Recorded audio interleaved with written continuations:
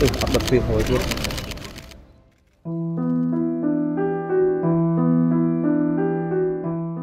បុគ្គលពាក់ផ្កាយ3លើស្មារូបនេះមានឱកាសធ្វើជានាយករដ្ឋមន្ត្រីថ្មីរបស់កម្ពុជា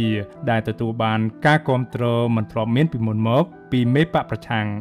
ក៏ប៉ុន្តែ លោកបានធ្វើឲ្យឱកាសដ៏កម្រនិងអាចមានតែម្ដងនៅក្នុងមួយឆាកជីវិតបាត់បង់ទៅវិញដោយសារតែការមិនហ៊ានចាប់យក លោកនឹងឡើងជំនួសឪរបស់លោក ដែលល្បីខាងគម្រាមវាយបុរដ្ឋឲ្យបែកថ្មិញបើហ៊ានតវ៉ាប្រឆាំងនឹងលទ្ធផលនៃការបោះឆ្នោត។មន្ត្រីរូបនេះគឺគ្មាននរណាក្រៅតែពីកូនប្រុសទី2របស់លោកទាបាញ់នោះទេ នោះគឺលោកទាសីហា មានឈ្មោះដើមថាទាទីហាលោកនឹងឡើងមកធ្វើជារដ្ឋមន្ត្រីការពារជាតិក្នុងវ័យ42ឈានចូល43ឆ្នាំ និងជាឧបនាយករដ្ឋមន្ត្រីមួយរូបក្នុងចំណោមឧបនាយករដ្ឋមន្ត្រី10រូបរបស់លោកហ៊ុនម៉ាណែតអតីតតំណាងរាស្ត្រគណៈបកសង្គ្រោះជាតិលោកអ៊ុំសំអានយល់ថាការដែលលោកទាសីហាឡើងមកកាន់តំណែងនៅពេលនេះគឺគ្រាន់តែជាតុក្កតាឬទីងមុងមួយ ដែលត្រូវក្រុមតកោហ៊ុនបោកប្រើឲ្យសម្ដែងតែប៉ុណ្ណោះខ្ញុំ យល់ថានៅពេលដែលលោកទាសីហាឡើងជារដ្ឋមន្ត្រីការពារជាតិហ្នឹងអំណាចរបស់គាត់ហ្នឹងគឺมันជាមានក្នុងដៃនោះទេព្រោះមកតាមយើងដឹង លោកហ៊ុនម៉ាណិតនឹងអាចខ្លាយទៅជាមេមជាការកងទ័ពជើងគោកជំនួសលោកហ៊ុនម៉ាណែតដែលឡើងមកធ្វើជានាយករដ្ឋមន្ត្រីព្រោះលោកមកសភាហ្នឹងគឺគាត់យុគចិត្តជាងហើយអញ្ចឹងអាចនឹងចូលនវត្តឆាប់ឆាប់ហើយហើយក្រោយមកទៀតមកតាមដែលយើងឮព័ត៌មានហ្នឹងថាលោកហ៊ុនម៉ាណិតអាចនឹងមកកាន់ជាអគ្គមេមជាការកងយោពលខេមរៈភូមិន្ទណាដូច្នេះអាណាគឺស្ថិតនៅលើលោកហ៊ុនម៉ាណិតមិនមែនស្ថិតនៅលើលោកទាសីហាហើយលោកទាសីហាគាត់មានបទពិសោធន៍តិចតួចនៅក្នុងកងកម្លាំងប្រដាប់អាវុធណានៅមុនពេលលោកហ៊ុនសានប្រកាសផ្ទេរអំណាចឲ្យកូនយ៉ាងទាន់ហន់កាសែតអនឡាញ Asia Time ដែលមានមូលដ្ឋាននៅទីក្រុងហុងកុងបានរាយការណ៍កាលពីថ្ងៃទី7ខែមីនាថាលោកទាបាញ់កំពុងទប់ទល់និងអាចបំផ្លាញផែនការផ្ទេរអំណាចតពូជរបស់លោកហ៊ុនសានខណៈលោកទាបាញ់គឺជាមនុស្សគន្លឹះម្នាក់ក្នុងការរក្សាទំនាក់ទំនងស្អិតល្មួតរវាងកម្ពុជានិងប្រទេសចិន ភ្លាមភ្លាមក្រោយពីការចុះផ្សាយនោះមេដឹកនាំបកប្រឆាំងនិងជាប្រធានស្ដីទីគណៈបកសង្គ្រោះជាតិលោកសំរាស៊ីបានប្រកាសគាំទ្របេក្ខភាពលោកទាសីហា ជានាយករដ្ឋមន្ត្រីថ្មីសម្រាប់រដ្ឋសភាអាណត្តិទី7នេះក៏ប៉ុន្តែការប្រកាសគាំទ្ររបស់មេបពប្រឆាំងបែបនេះមិនត្រូវបានលោកទាសីហា និងឪពុករបស់លោកទទួលយកនោះឡើយ លោកទាសីហាថ្លែងជាសាធារណៈថាត្រកូលទាមិនដែលមានមហិច្ឆតាប្រជែងតំណែងនាយករដ្ឋមន្ត្រីរបស់កម្ពុជាឡើយលោកទាសីហាកើតនៅថ្ងៃទី31ខែសីហាឆ្នាំ1980នៅក្រុងភ្នំពេញក្នុងត្រកូលដែលមានលោកទាបាញ់ឈ្មោះដើមទាសង្វានជាឪពុកនិងម្ដាយឈ្មោះតៅតឿន នៅខែធ្នូឆ្នាំ2015លោកបានរៀបការជាមួយភរិយាឈ្មោះទៀងអេងដែលពុំមានឯកសារណាមួយបញ្ជាក់ពីសាវតារបស់គាត់ឡើយលោកនិងអ្នកស្រីទៀងអេងមានកូន3នាក់គឺកូនប្រុសច្បងឈ្មោះទាសង្ក្រានកូនស្រីឈ្មោះទាកល្យាណីនិងកូនប្រុសពៅឈ្មោះទាសូរ្យកាន កាលពីនៅកុមារភាពលោកបានរៀននៅសាលាបឋមសិក្សាចតុមុខមុននឹងបន្តការសិក្សាកម្រិតមធ្យមសិក្សា នៅសាលាមួយនៅទីក្រុងលីយ៉ុងនៃប្រទេសបារាំងចាប់ពីឆ្នាំ1993លោកបានបញ្ចប់បរិញ្ញាបត្រផ្នែកពាណិជ្ជកម្មពីមហាវិទ្យាល័យនៅទីក្រុងប៉ារី ក្នុងឆ្នាំ2001ក្រោយមក លោកបានចូលសិក្សារយៈពេល1ឆ្នាំ នៅសាលាទីហ៊ានល្បីឈ្មោះមួយ នៅទីក្រុងប៉ារី វិសុវអាស៊ីស្រីបានតាក់ទងទៅសាលាទាំងនោះដើម្បីសុំបញ្ជាក់ពីប្រវត្តិសិក្សារបស់លោកទាសីហានៅទីនោះក៏ប៉ុន្តែពុំទាន់ទទួលបានការឆ្លើយតបណាមួយនៅឡើយទេលោកទាសីហាចាប់ផ្ដើមលេចមុខមាត់ជាសាធារណៈនៅអំឡុងឆ្នាំ2010នៅពេលដែលបកកណ្ដាលអំណាចចាត់តាំងលោកឲ្យធ្វើជាប្រធានក្រុមយុវជនស្ម័គ្រចិត្តវាស់វែងដីធ្លីនៅខេត្តសៀមរាបយូនរបស់លោកទាសីហាចាប់ផ្ដើមឡើងក្រើតក្រើត តាមរយៈអត្តពលរបស់ឪរហូតក្លាយជាអភិបាលខេត្តសៀមរាបដល់ទៅ2អាណត្តិគឺចាប់ពីឆ្នាំ2018មកចុងក្រោយនេះតាមរយៈការបោះឆ្នោតដែលផាត់ចោលគណៈបពប្រឆាំងធំជាងគេនឹងត្រូវសហគមន៍អន្តរជាតិថ្កោលទោសថាជាការបោះឆ្នោតคล้ายៗលោកទាសីហាជាប់ជាបេក្ខជនតំណាងរាស្ត្រ របស់គណៈបកប្រជាជនកម្ពុជា ប្រចាំមណ្ឌលសៀមរាបសម្រាប់រដ្ឋសភានីតិកាលទី7នេះស្ថិតនៅក្នុងចំណោមបេក្ខជនតំណាងរាស្ត្រ12រូបរបស់គណៈបកនេះដែលមានអាយុក្រោម45ឆ្នាំ ក្នុងអាណត្តិរបស់លោកទាសីហាជាអភិបាលខេត្តសៀមរាបលោកបានអួតអាងពីជោគជ័យនៅក្នុងយុទ្ធនាការចាក់វ៉ាក់សាំងការពារជំងឺ Covid-19 ការកែលម្អសម្ព័ន្ធភាពក្នុងក្រុងសៀមរាបកាន់តែប្រសើរដូចជាហេដ្ឋារចនាសម្ព័ន្ធផ្លូវថ្នល់38ខ្សែប្រព័ន្ធលូភ្លើងបំភ្លឺសាធារណៈនិងការកែលម្អស្ទឹងសៀមរាបជាដើម ទោះជាយ៉ាងណា ជាជាងគិតគូរពីយុទ្ធសាស្ត្រនិងចក្ខុវិស័យវែងឆ្ងាយសម្រាប់ខេត្តសៀមរាបនោះលោកហាក់ជាមនុស្សដែលគិតគូរពីផលប្រយោជន៍ខ្លួនឯងប្រពន្ធកូន និងក្រុមគ្រួសារច្រើនជាងបញ្ហានៅក្នុងខេត្តនិងប្រជាជននៅក្នុងមណ្ឌលរបស់លោកបាទខេត្តក៏អាចជាថាជាចំណុចមួយក្នុងការតាក់ទាញដែរបើមិនព្យាយាមធ្វើឲ្យសម្រស់កាន់តែស្អាតក៏ប្រហែលជា ភ្ញៀវទេសចរក៏គេមើលដែរថាបើអ្នកគ្រប់គ្រងខេត្តមានសម្រស់គួរឲ្យកត់សម្គាល់ក៏អាចមានភាពតាក់ទាញដែរហើយថ្ងៃនេះខ្ញុំមានអភិបាលរងមកក៏មានសម្រស់ស្រស់ស្អាតដែរ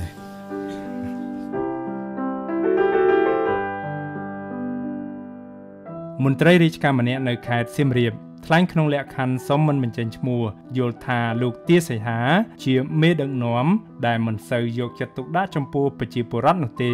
ឬសូម្បីតែកិច្ចការនៅក្នុងផ្ទៃក្នុងបកក៏ដោយគាត់មិនមានសមត្ថភាពគ្រប់គ្រាន់ក្នុងការដឹកនាំជាតិវាវាអត់មានគុណ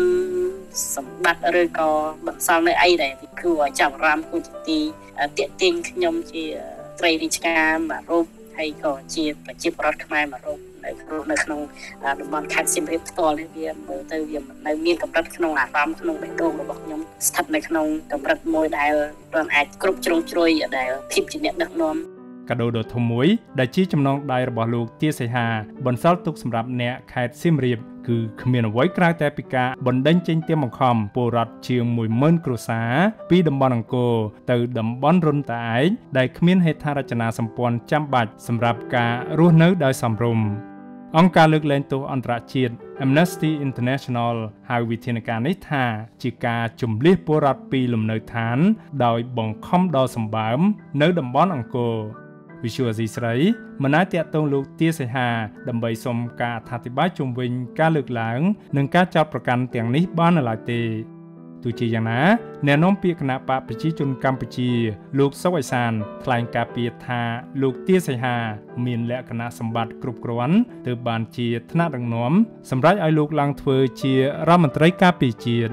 ខ្ញុំមិនបានដឹងពីប្រវត្តិគាត់ទេក៏ប៉ុន្តែខ្ញុំយល់ថាសិតតែគ្រប់លក្ខណៈសម្បត្តិអានឹងបានរាជរដ្ឋាភិបាលប្រធានគណៈបកលោកជ្រើសរើសដើម្បីនឹងដាក់ឲ្យតាមកន្លែងនីមួយនីមួយសមស្របទៅតាមលក្ខណៈវិនិច្ឆ័យរបស់គុណសម្បត្តិស្របទៅតាមគុណសម្បត្តិនិងគណៈវិនិច្ឆ័យរបស់បុគ្គលម្នាក់ម្នាក់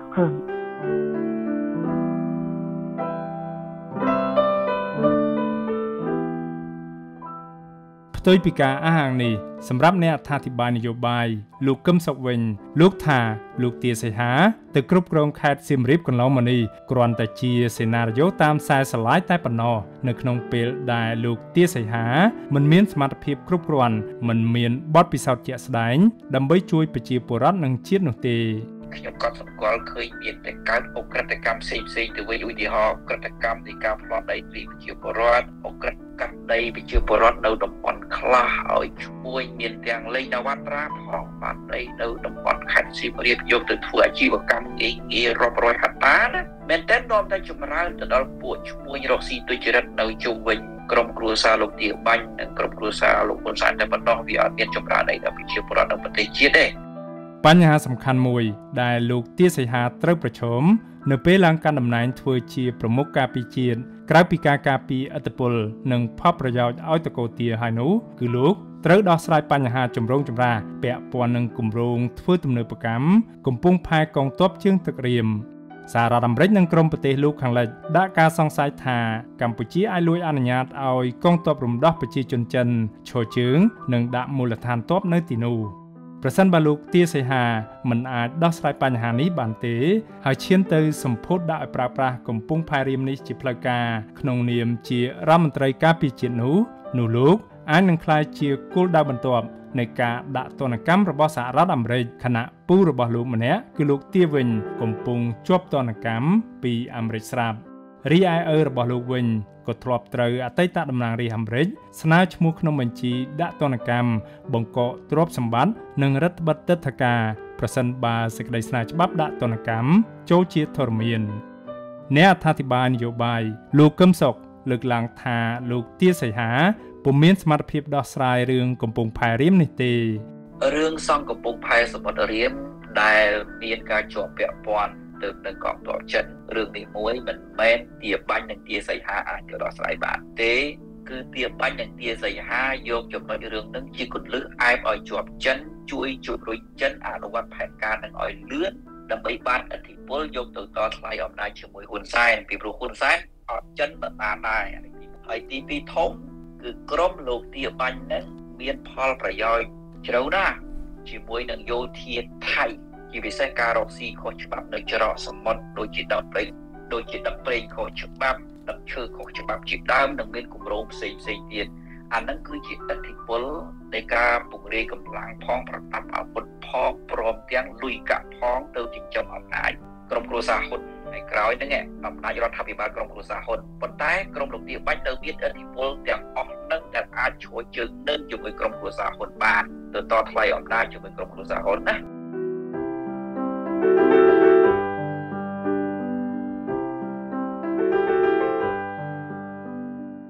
ផ្អែកតាមសេណារីយ៉ូនៃការរៀបចំជើងព្រួលរបស់ត្រកូលហ៊ុននៅក្នុងក្រសួងការពារជាតិលោកទាសីហាទំនងជាពិបាកនឹងឈរជើងនឹងបានយូរនៅក្នុងក្រសួងនេះណា ជាពិសេសក្រោយពេលដែលឪពុករបស់លោកអស់អំណាចគេក៏ពិបាកនឹងរំពឹងដែរថា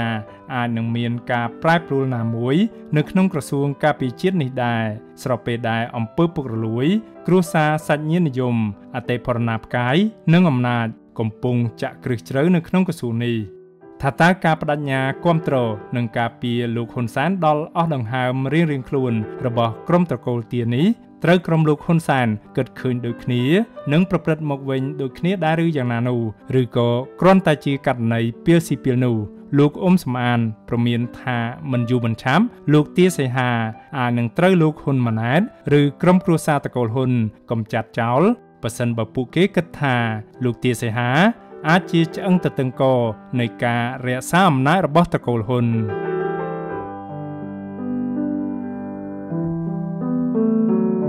ខ្ញុំបាទមេរិត Visual Asia ស្រី ពីរដ្ឋធានី Washington